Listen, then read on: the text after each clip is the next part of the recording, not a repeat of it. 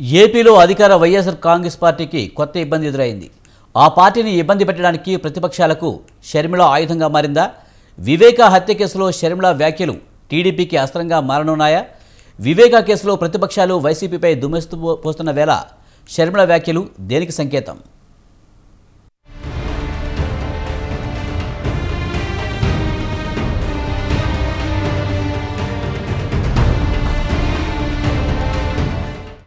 వివేక హత్య కేసులో జరుగుతున్న పరిణామాలు అధికార వైసీపీని ఉక్కిరిబిక్కిరి చేస్తున్నాయి.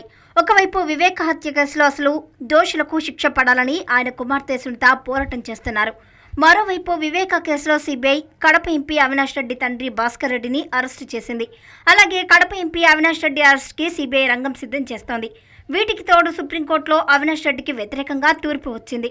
వివేక హత్య కేసులో సిబిఐ అవినాష్ తండ్రి భాస్కర్ రెడ్డిని అరెస్టు చేయడంతో ప్రతిపక్ష టీడీపీ నేతలు ప్రభుత్వంపై విమర్శల దాడిపించారు వివేక హత్య వెనుక అవినాష్ రెడ్డి ఉన్నారని ఆయన అరెస్టు తప్పదని టీడీపీ నేతలు చెబుతున్నారు ఇలా ఒక్కసారిగా అన్ని వైపుల నుంచి వైసీపీకి వ్యతిరేకంగా జరుగుతున్న పరిణామాలు ఆ పార్టీ నేతలకు ఇబ్బందిగా మారాయి.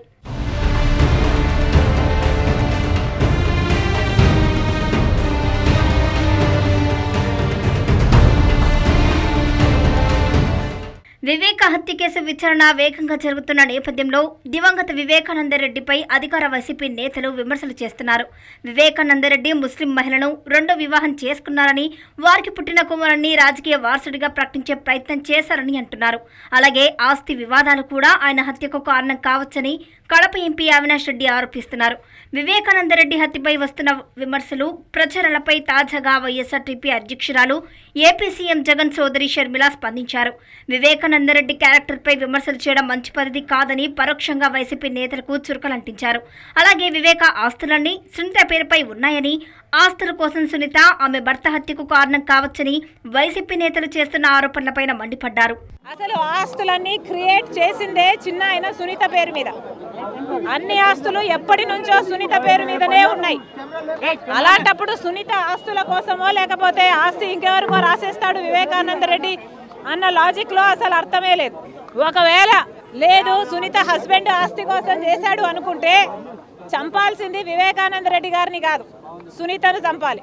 అసలు ఈ ఆస్తులు ఎప్పటి నుంచో చిన్నాన సునీత పేరు మీదనే రాశారు సునీత పేరు మీదనే క్రియేట్ చేశాడు అనాలి కనుక అసలు మీరు చెప్పే దాంట్లో లాజిక్కే లేదు. చిన్నాన పేరు మీద ఎప్పుడూ ఆస్తులు లేవు. చిన్నాన పేరు మీద ఉన్నది ఏదో ఒకటో అరమో ఆస్తులు తప్పితే లేవు. అది కూడా ఆ ఉన్న అరాకొర కూడా సునీత పిల్లలకు రా- చెందేలా విల్లు కూడా రాశాడు చిన్నాన వివేక్ హత్య కేసు విచారణ వైసీపీ నేతల ఆరోపణలపై షర్మిల ఇంతకాలం తర్వాత ఎందుకు స్పందించారు? అది వైసీపీకి నష్టం కలిగించేలా ఎందుకు వ్యాఖ్యలు చేశారనే చర్చ అధికార పార్టీ నేతల్లో జరుగుతోంది.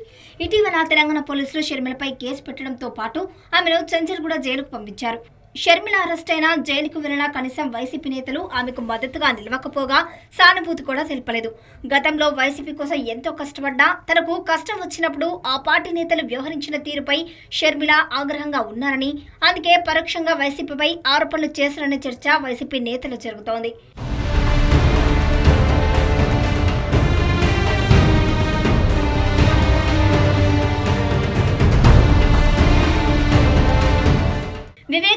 జరిగిన తర్వాత అప్పట్లో ప్రతిపక్ష నేతగా ఉన్న జగన్మోహన్ రెడ్డి చంద్రబాబు టీడీపీ నేతలే ఈ హత్యకు కారణమని ఆరోపించారు.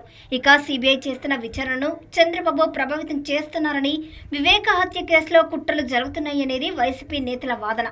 మరోవైపు వివేక కుమార్తె సునీత టీడీపీలో చేరబోతున్నారని కడప జిల్లాలో పోస్టర్లు ప్రత్యక్షం కావడం సంచలనంగా మారింది.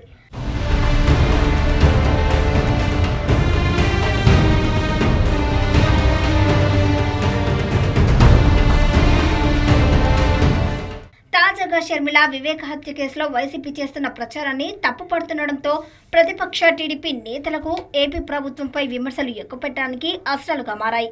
టీడీపీ అధినేత చంద్రబాబు రాష్ట్రానికి ఇదేమి కర్మ పేరుతో చేస్తున్న పర్యటనలో భాగంగా వివేక హత్య విషయంలో చేసిన వ్యాఖ్యలకు ఏమి సమాధానం చెప్తారని ఏపీ సీఎం జగన్మోహన్ రెడ్డిని ప్రశ్నిస్తున్నారు. షర్మిల వ్యాఖ్యల ఆధారంగా ప్రభుత్వంపై మరింత దూకుడుగా విమర్శల వేడి పెంచారని వివేక హత్య కేసు అంశాన్ని ప్రజలకు తీసుకెళ్ళాలని ప్రతిపక్షాలు భావిస్తున్నాయి.